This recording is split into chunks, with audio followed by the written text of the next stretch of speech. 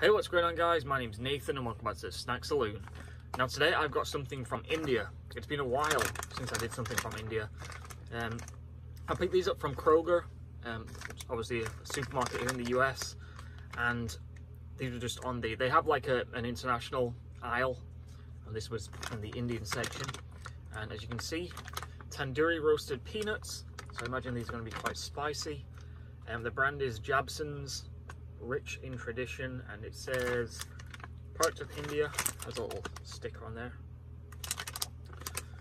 Um, yeah. I'm trying to see if there's an exact place. Gujarat. Manufactured by Jabson's Food in yeah Gujarat. Okay. Let's get this open anyway. Obviously I've never tried anything by this brand before. Just gonna smell Oh, wow. Really strong smell. Try and open this a bit better. Yeah, that smells really good.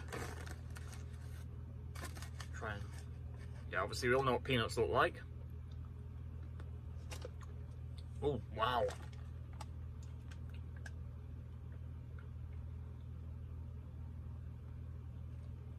Those are incredible. I want to say well, definitely one of, if not the best flavor of peanuts that I've tried. So strong.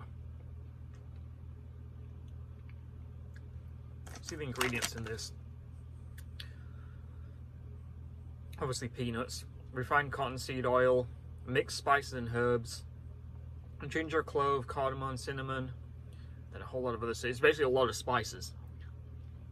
But honestly, the flavor is so intense.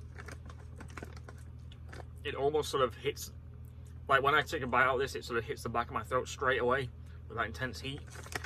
But yeah, like I said, one of the better, if not the best, flavor peanuts I've tried. I'm curious now to know how many other flavors there are by this brand, because I would love to try them. Yeah, really impressed by these. That's it for this video, guys. Please remember to rate, comment, subscribe. Until next time, see ya.